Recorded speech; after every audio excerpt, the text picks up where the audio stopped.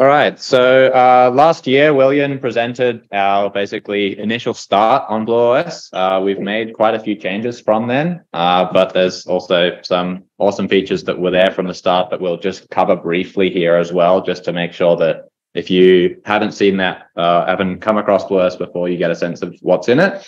Um, but the focus of this presentation is on what's new uh, and sort of what we've made available now. Um, so just as a quick overview, we'll be going through why we made BlueOS in the first place and how we've been going about the development. Uh, then Willian will talk through uh, how BlueOS integrates with the autopilot. Uh, then I'll cover some additional functionalities in BlueOS that are kind of outside the realm of the autopilot, but still useful for the vehicle and for the operator. And then Willian will go through how BlueOS can be extended by users and developers and the like. So just starting out, um, Blue, uh, Blue Robotics is a marine robotics company uh, where, well, Willian's the primary maintainer of ArduSub, uh, and the sub vehicles that we use rely heavily on onboard and companion computers uh, for video streaming, uh, flashing the autopilot. We have enclosures with the autopilot in it that aren't always great to open, especially if they're, you know, a thousand meters under the water. Um, then uh, Mavlink pass through down to the vehicle, um, including for joystick inputs. We often use a tether, uh, telemetry data going in both directions, uh, parameter setting, things like that. Uh, and then also fetching logs from the autopilot. As mentioned, if your autopilot is in an enclosure that you don't want to open, then you have to kind of get those logs out somehow. Um, we also use a lot of different third-party sensors. They're not all ArduPilot specific. Uh, some of them are quite high bandwidth and aren't particularly relevant to vehicle control. So it's not super important for the autopilot to know about them or to operate with them. Uh, and that includes like environmental sensors like conductivity, turbidity. If you just want to have some scientific measurements that you're like, well, autopilot doesn't care about this, but we want the data. Uh, so our initial solution when Blue Robotics started and tried to make a vehicle uh, was basically just a forked and very highly modified uh, version of the ArduPilot companion software. Um, that's quite monolithic. Uh, it's it's sort of one thing that's tied together, um, and because of the into like the ex- extensions and things that we wanted to make to that, it was difficult to maintain, especially because different people wanted to work on different things, and the like needing to fork the whole thing to run it on one vehicle made it hard to sort of share across vehicles while having changes from multiple people at the same time. Um, we also have just in general people who want to integrate different sensors, different actuators, and the like, uh, and they sort of need an e- ecosystem to like for them to thrive. They need an ecosystem where they can kind of easily develop their own components uh, and that has to be in a maintainable way and a way that can be shareable across vehicles without having to sort of fork the entire thing that everyone is running. So our target market for BlueOS is just anyone who wants to make or use an advanced robotic system. Uh, that includes developers, which is, you know, all of you plus very many people, um, users of our vehicles and any other vehicle that uses BlueOS. Uh, it is open source and is not intended for just marine robotics. So user user base can be quite broad. Integrators of sensors, actuators, cloud services, whatever, um, and educators about uh, advanced robotic systems as well. Uh, the sort of underlying premise of a BlueOS system, uh, we're assuming that there is some kind of Linux-based onboard or companion computer available. Uh, there's network connectivity. BlueOS uses a lot of web-based things. Um, so ideally, network connectivity is always available, but if it's at least available during configuration, then you can still use our sort of configuration tools and the like. Uh, and then a Mavlink compatible flight controller. We generally recommend ArduPilot firmware because it's what we work most with, and so it has the best integration, um, which also works well at this conference. Um, so just as a quick overview of an example system, uh, so you'd have a flight controller board, that's a navigator that we make, or you could have a Pixhawk, whatever you want. Um, BlueOS will just talk Mavlink to it, but flight controllers like a Pixhawk, we can flash the firmware onto, which is a kind of nice bonus. Uh, and that will have connection to the actuators and sensors that are relevant to the vehicle control. then you'll have your onboard or companion computer. Um, in our case, that's generally a Raspberry Pi, but BlueOS is made to be able to shift over to other systems as relevant. And you might have some environmental sensors or maybe some cameras and things like that that are attached or plugged into the that computer. And then there's some form of network link, potentially additionally Mavlink, but um, yeah, so Mavlink might go separately or just through the same network network link. Um, and then Willian. So uh, after kind of trying to leave behind uh, that monolithic system that was our old companion, we had to do some design choices. We ended up choosing to have uh, container, containerized components with multiple individual services as tiny as possible, basically microservices. And uh, we also allow integrators to create their own extensions, which are basically individual containers that run alongside our core container that is actually BlueOS. So it's very easy to extend things, and we have uh, proper APIs and an interface to integrate everything nicely. One of the advantages of using uh, containers is that the dependencies are always isolated, so you can easily port this over to a new board or anything. And uh, we can also limit hardware and like resource access by extension. So we can have like processing limits. Say you can only use one core of one CPU and 256 megabytes of RAM. That kind of thing is particularly relevant if you have, so in our case, the Navigator flight controller is a hat that sits on top of the Raspberry Pi. Um, so the uh, autopilot firmware is actually running on the Raspberry Pi, and you need to make sure that you have enough processing available that you don't like randomly lose control of your vehicle because something yeah. else took too many resources. Yes, the extensions need to be tightly controlled so things don't go out of hand. Uh, we choose to work with web interfaces and APIs. So we have we have lots of services, and all of these services they have uh, Swagger APIs. So it, they are very easy to work with for developers to integrate new things. Uh, we're planning to have a main dashboard where we can show lots of information together, have like an overview of the system. That's not quite done yet. And we're also we also have planned to have a pub sub architecture. I guess it's similar to what ROS has, but it's not quite the same solution. It's still on the works. Uh, our plan is to have synchronized login of arbitrary, arbitrary data, data types. And with our extension manager, it's easy to uh, install and share extensions. Guess that's it. Next. For the front end, we picked uh, Vue.js. It's a yes, recently new JavaScript framework that allows for very react reactive components. Uh, one example is we have a we can animate a heart icon with the heartbeat, which is very nice to see when the vehicle is okay. uh, it's very easy to it's easy to reuse components, and we use Mavlink2Rest in the backend as a backend to actually talk to the vehicle, which is it's written in Rust, so it's very efficient. Uh, it was designed with modern technology, so are, it, we're based on Python 3.9 and with some people pushing for 3.11. Uh, all the critical services and the ones which need performance, they are written in Rust. And we use Mavlink router for Mavlink routing, but we also support, support MavProxy, but MavProxy is a GCS, not router, so performance is not great. Um, all right, so system components, just as a quick overview. Um, you've got your Linux computer. Uh, there's a BlueOS Bootstrap uh, Docker container that sort of starts everything up and also monitors the core container. So if something goes wrong, then it can start things back up um, and make it so that your system at least restores itself.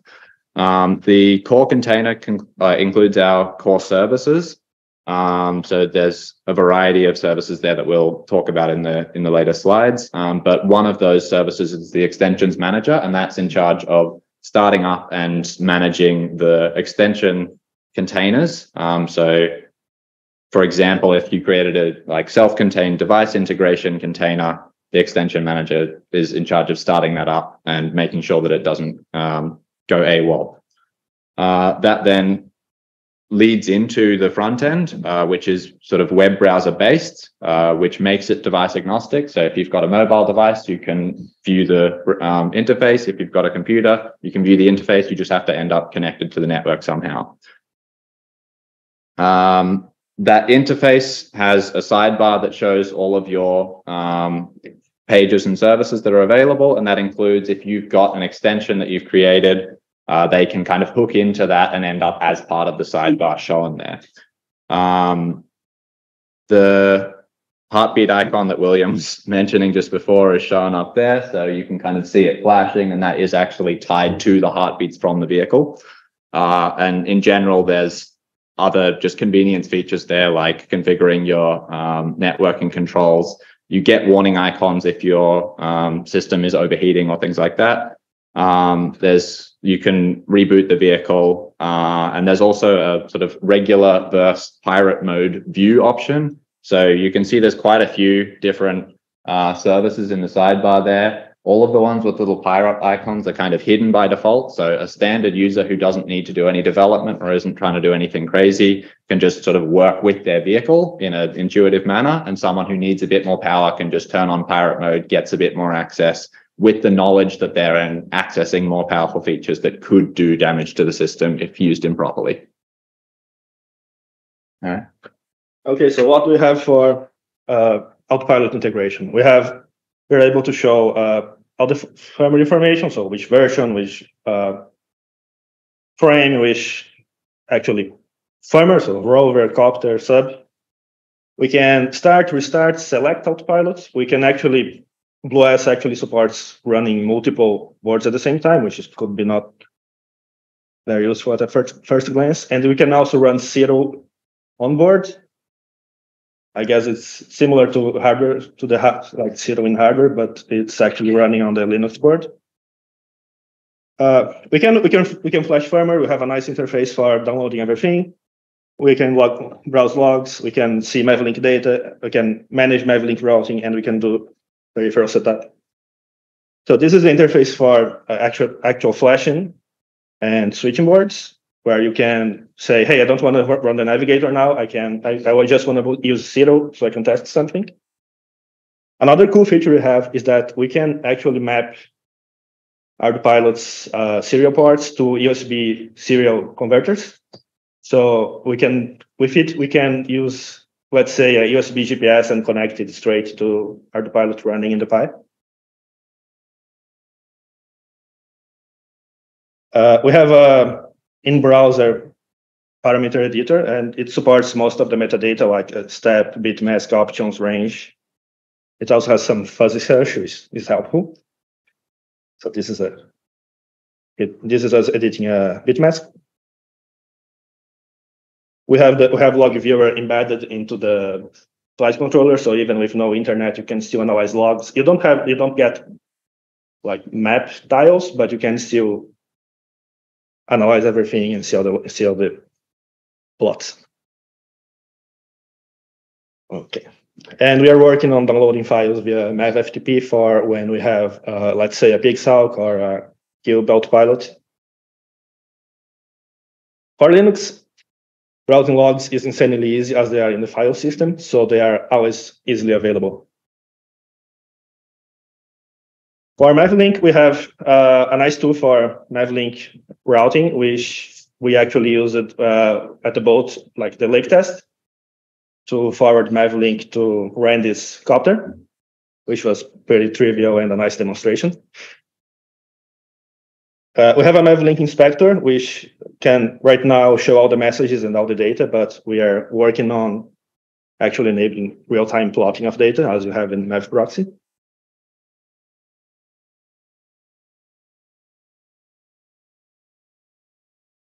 Uh, this is the vehicle setup view. It has a, a 3D model that's easily, yeah, it's easily overridable by either users or, let's say, our distributors or anyone who wants to work with it. Uh, we have a lot of data there. We have the vehicle frame, firmware version. We have all the sensors detected via dev ID parameters. we, we detect our ping devices, which are sonars. In this case, we have both both a rangefinder and a scanning sonar detected. Uh, the goal here is to continue working on vehicle setup and get everything, uh, get all of the setup necessary in within BlueOS. So we have like motor test and we have sensor calibration and, and other tools. You've probably seen this guy already. There's one down there. um, yeah, we're releasing a boat soon. Uh, some of you may have seen it. This is just a quick display that like, yeah, you can switch out the 3D model. Um, and that is kind of detected based on the firmware that you've got available. So yeah, it's, it's detected based on firmware and frame. So we actually have frames for all kinds of ROVs and adult and and I want to get frames for quadcopters and the other copters, but there there are a lot of them. So work in progress.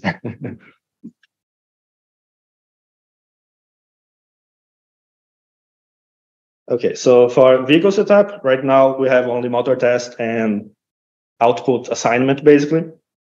Uh, it's it may sound trivial, but it's important for ROV users because they half the support questions are people who, hey, my ROV is going the wrong way. So they they have the motors wrongly assigned. And this is also easily overrideable.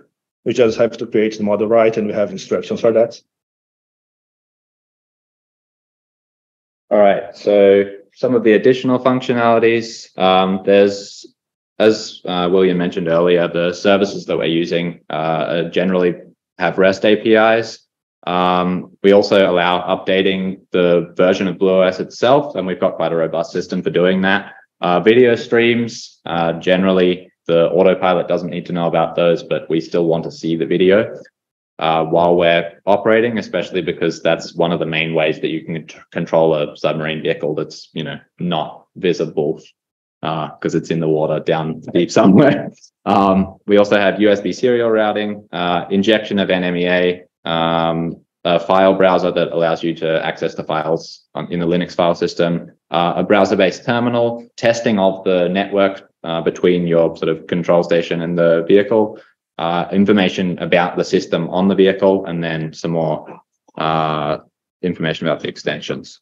So the REST APIs, as Willian mentioned, uh, have Swagger UIs that uh, improve or like make it easier to interact with them. Uh, so you can actually send API calls just from our um, helper service to just like test them out if you want to. And that's the same for if you, as an extension developer, create an extension that provides an API that will appear in the same place and can be tested in the same way. Um, the service probes all of the open TCP ports, any of them that respond to a HTTP, HTTP probe are detected and then are listed in the available service list. And services can also like register themselves by providing a register service endpoint with particular metadata in it. And that then allows them to hook into the um, sidebar and provide a, a web interface page. Uh, there are also some more internal developer-based services that don't like aren't really user oriented, so they don't have um, external interfaces, but developers can use them. So there's the Commander service that allows running arbitrary bash commands in the core Docker container. Um, and that provides access to the Linux system underneath using an HTTP uh, API. And there's also the Beacon service, which allows configuring MDNS uh, network advertisements. So uh, we generally connect to the vehicle using BlueOS.local um, as a sort of broad option. But if you're using a Wi-Fi connection, you can use BlueOS Wi-Fi.local if you're just on the same Wi-Fi network as the vehicle. Um, and you can also set up custom ones for um, different extensions and the like. Uh, the version chooser, there's a bit of a GIF here of um, a version being installed, but basically the default interface is just if there is a more recent similarly stable version of BlueOS available, it will come up as a button that you can click install and update. But if you're in pirate mode, you have the access um, to see all of the versions that you've installed previously that are still on your system, and you can switch between them. So you can go back versions just as easily as you can upgrade versions. And you can also change which, like, so you can install new versions from the list of full available versions, including changing to a custom remote. So if you've decided to do some development on your own while you're testing things out, you um, publish your own image, you can change to that remote and just install your own version of BlueOS instead of having to use only the official ones. Um, and once you install, it will Bootstrap basically kicks in, switches you to the new core image, and then you're you're now on your new version. Um, so you don't have to restart your vehicle to do that. Well, the autopilot restarts, but the the vehicle itself doesn't. Um, and that's the uh, pirate mode interface there, changing the changing the remote the, to Willians one. The GIFs are out of sync. Oh, okay. Um, all right, video streams. Uh, we have a Mavlink camera manager um, that supports streaming from multiple cameras via USB uh, that get exposed as individual Mavlink components. So that's quite useful for sort of tying them into uh, control station software like QGC that just goes, oh, look, there are Mavlink cameras available, and then it can switch between them pretty easily without having to know about them in advance or be ma like manually told where they are. Um, we currently have UDP, uh, H.264 encoded support, RTSP support, and WebRTC support. Um, and we're also able to advertise external RTSP streams via Mavlink. So if you have an IP camera that presents itself with RTSP, we can sort of hook that into our Mavlink camera manager and present it via Mavlink to a receiving system. Um, we also expose the video for Linux um, camera controls. So if your camera is a USB camera that's providing those controls, then that gets pre presented via Mavlink, which means QGround control, for example, can control your um, camera brightness, and you can also control that from the browser um, in the uh, camera manager. We have plans for ONVIF discovery um, and also plans for supporting onboard recording onto the uh, SD card on the or the hard drive or, uh, or whatnot on the onboard computer. Um, but those are yet to be implemented. There are a variety of other services. Uh, we Willian spoke about them in the previous one, so we won't spend too long on them. Um, but there's a bridges service that allows you to um, convert serial devices into UDP ports, uh, similar to SOCAT. Um, that's used under the hood to uh, power our sonars, um, but can also be used for just arbitrary things that you want to like get a serial device, send it to the top as some kind of network thing instead. Uh, the in-browser terminal has a tmux session by default. Uh, it allows you to escape the Docker container, so you can go from the core Docker container down onto the underlying system and change things if you need to. Um, so there's quite a lot of developer power and freedom there, and we're building developer tools into that to make it nice to use um, and develop like on the system itself. Uh, the NMEA injector takes NMEA strings uh, via UDP and then sends GPS input messages to the autopilot through Mavlink. Um, so if you have a um, NMEA GPS that's USB based, for example, um, you could use like navigators. Right. All right. So picking back up.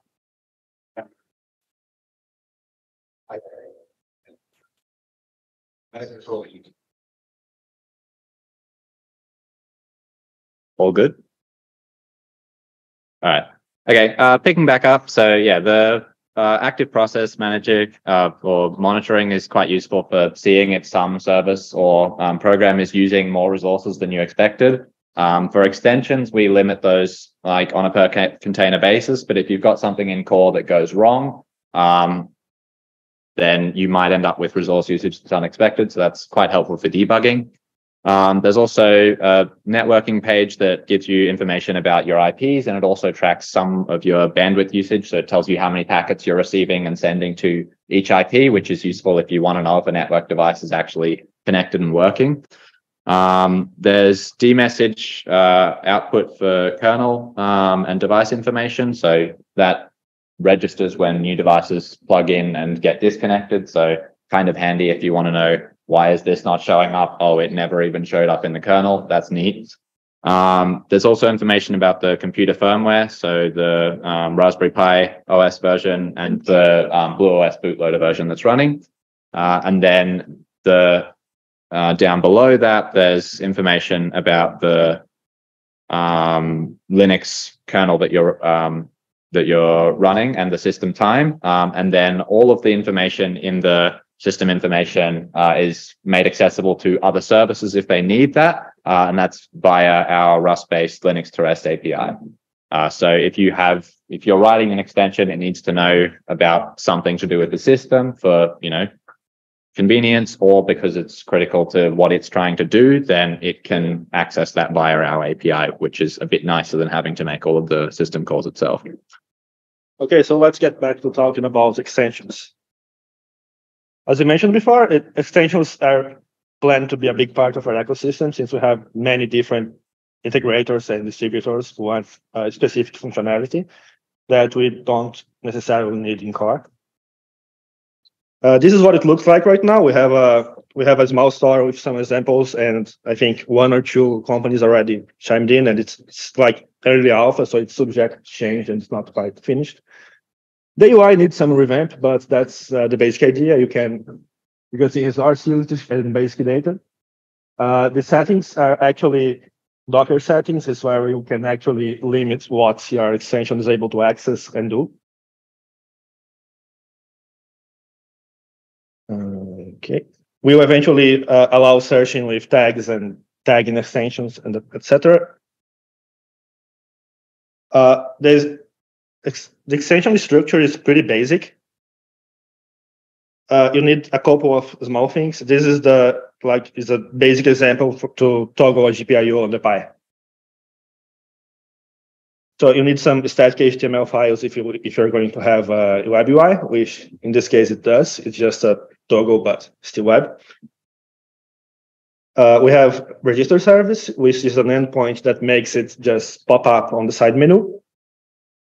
Install.sh in this case install some other requirements, which is in this case PyGPIO to actually controlling the GPIO.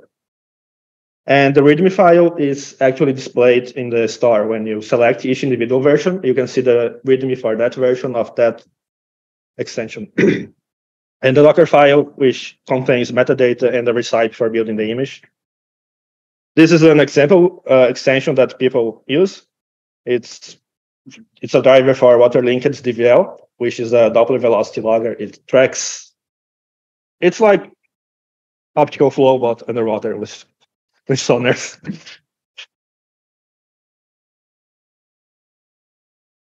and since this is now uncoupled for BlueOS, it's easy to maintain it, maintain it independently of us. Yeah, so that one was originally built into our previous uh, companion software, um, but understandably, it's a DVL from one particular manufacturer. Not everyone uses a DVL, not everyone uses that manufacturer. So it's nice to not have that installed as a requirement. But if you actually need to use it, you can just install the extension for it. Okay, so this is a, uh, another extension we are working on. Oh, okay. I thought it was going to pop up later. It is a GCS we're working on. It's uh, web-based, and it's designed to be modular. It uses WebRTC for video, and it's not uh, released yet, but there are some builds available for testing. There's just Big other what? But, but, but I lost my mouse. Oh, it's, okay. Should I skip part of it? So yeah, each of these individual components, like the the depth marker, the virtual horizon, the top bar, the compass indicator, they are all individual widgets. Uh, our goal is to have a very modular ground station that people can customize as they want. We can have multiple videos. Uh, yeah, can go to next. Yeah.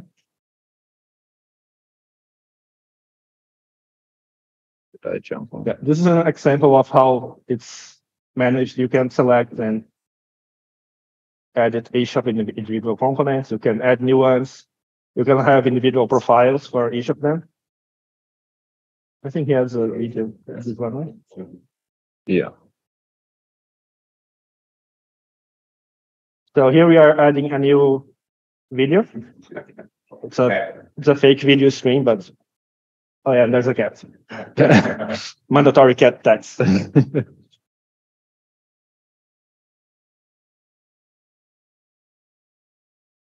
guys can move on. Mouse. And okay, move on. Click on the slides. And since our controllers are mostly based on joysticks instead of radio transmitters because water and radio don't mix well, we had to come with a come up with a solution for actually mapping things better. We had uh, many issues before with QGC and the SDL mappings going wrong. So yeah, in this case, this is setting up a new controller. Um, just clicking on a button, pressing the corresponding button on the controller and just mapping that to the correct place so that it doesn't need to deal with like manually lining up the numbers. You just go, that's the one I want to press, press it, and it knows which one you're doing. So there are actually two different mappings. There's one mapping from joystick to default inputs and then default inputs to functions. And we we will supply most of these default ones for non-joysticks as Xbox, PS4, etc. But if someone is working on a custom joystick, as it's normal in their ROV world for reasons, they want things to look rugged, so they make it their own. So it's it makes very easy to map things. And yeah. Okay, this is an, an example of a cool extension. It's just an, a wrapper for VirtualHere. I'm not sure if anyone knows it, but it's an app that allows you to share a USB device over IP. Uh, if you look at the Docker file, it's just a lot of labels for metadata that we consume, and it downloads VirtualHere and starts it on yeah. time for. Uh, no, what? I want to talk about it more. so what it does is that you can easily just plug, for example, a an ultrasonic sensor that's USB, like a, a rangefinder that was not designed for an ROV at all.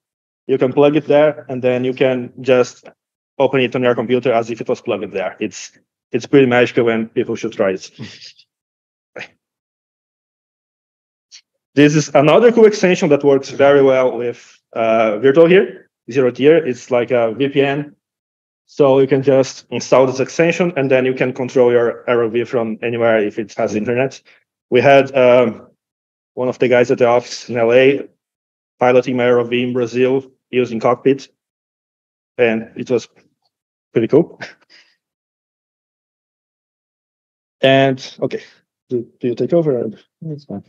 Okay, and we have this covers uh, most of the features we have right now, and we have some other planned features. Uh, we want to do onboard video and audio recording. We don't have that yet. uh, as I mentioned before, we want to do multi-source logging synchronization because we have to synchronize multiple videos to the log to all the Mavlink or like data flash log data. Uh, we have we want to improve the debugging tools. We have already GDB in there, so you can actually upload uh, a firmware with debug symbols, and you can connect GDB to it and have like debugging your real hardware instead of zero. Uh, we're planning on support multiple other uh, PIs. I mean, single board computers like the Jetson or Banana Pi, Orange Pi, those individual things. This is for BlueOS, not necessarily Navigator because the pinouts are very important. And we also want to have a like web Mavlink console just to make like MAVProxy just make things easier to play with. And you can try it. You can download it with this link. Just scan the QR code. What? uh, the Git, the Git, it's uh, BlueOS is open source. It's on GitHub. Uh, we are using, we are currently using Docker Hub for the images, but as you might have seen, we will probably expand for other registries very soon. And I guess that's it. Any questions? I expect many. Of the OSD editing, that's just brilliant. Super cool. That's really, really cool. I wish we could do that with our, uh, the OSD on, on other systems. Very, very nicely done. So any questions about, uh, uh, Randy, go ahead. All right, so uh, I saw With the firmware update, was that certainly you could update the firmware on the autopilot? Can we update the Blue OS version as well? Yeah, Yes, that was yes. Go the, back to both. so this was the BlueOS version. Yeah, this updates OS. So this changing the Docker, and then yeah, go back, and then within that we have uh, firmware flashing tool. That's this one. So we do both. Yeah. Yeah. Is that that's supposed to be a GIF, right? Yeah. So it fetches the manifest from firmware servers, uh, checks compatibility, and then downloads the firmware.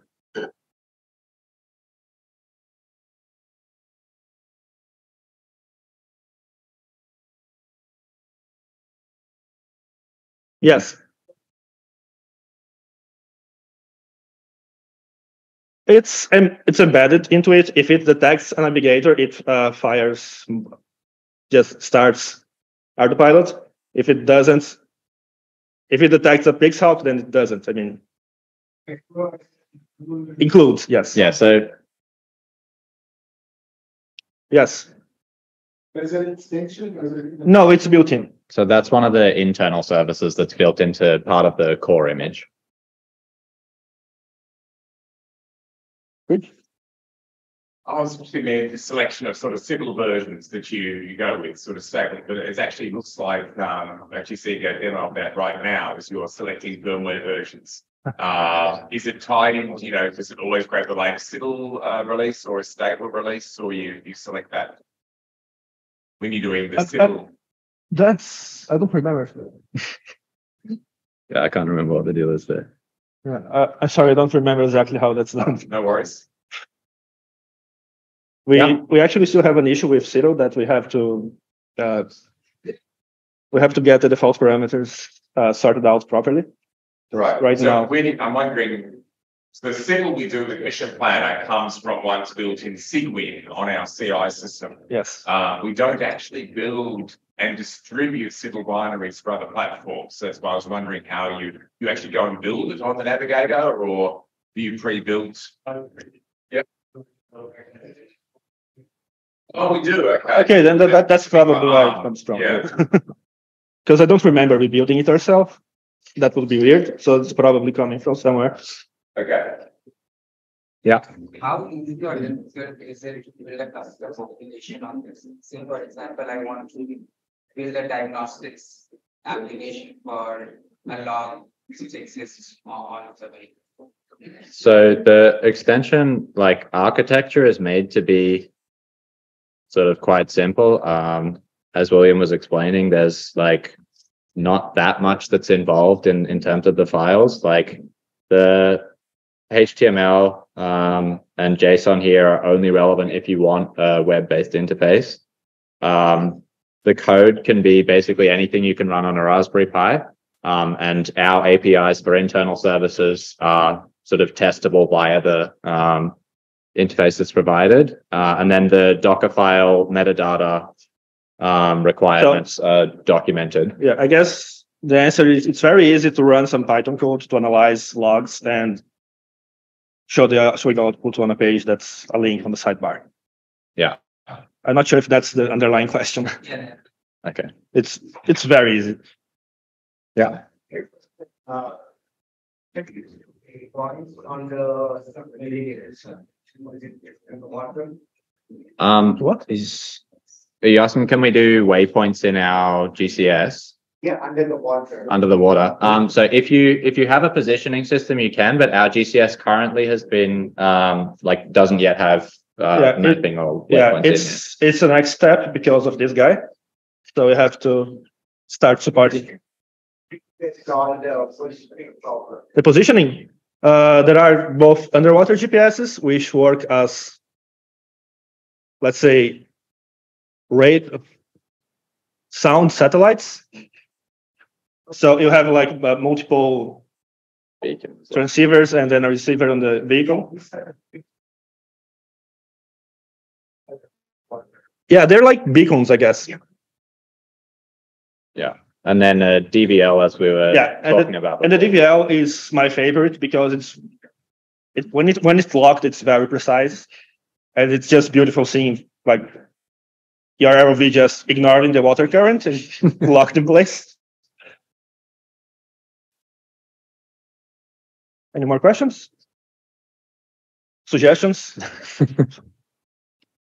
All right, so thank you very much. Thank you.